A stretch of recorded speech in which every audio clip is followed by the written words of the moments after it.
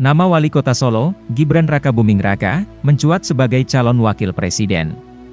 Secara aturan, Gibran terkendala aturan usia minimal cawapres. Namun saat ini ada upaya menggugat aturan batas usia cawapres melalui Mahkamah Konstitusi, MK. Jika MK mengabulkan gugatan tersebut, maka Gibran bisa melenggang jadi cawapres. Ketua DPP Partai Demokrasi Indonesia Perjuangan atau PDIP, Puan Maharani, menyebut, Gibran Raka Buming Raka bakal dipertimbangkan sebagai cawapres Ganjar Pranowo di Pilpres 2024.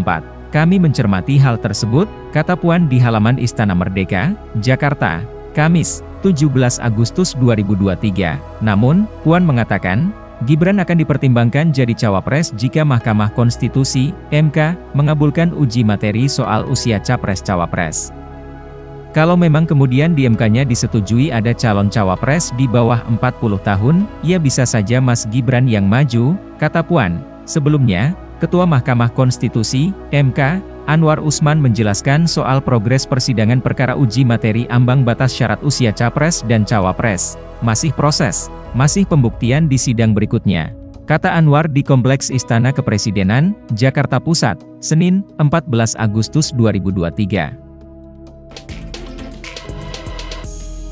Jangan lupa like, subscribe, dan share ya!